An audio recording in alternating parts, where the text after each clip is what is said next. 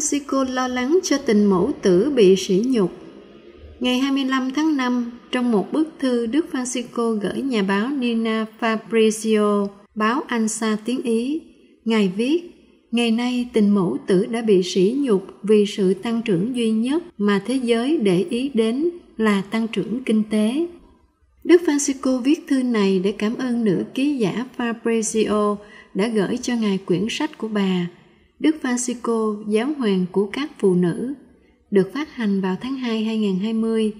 Quyển sách này ghi lại các bài diễn văn của ngài liên quan đến các vấn đề mà người phụ nữ có thể gặp từ giết hại phụ nữ đến phá thai. Khi gửi cho Đức Francisco quyển sách, bà Nina Fabrizio cũng gửi đến ngài biên bản các cuộc điều tra liên quan đến vấn đề phụ nữ mang thai trong thời đại dịch.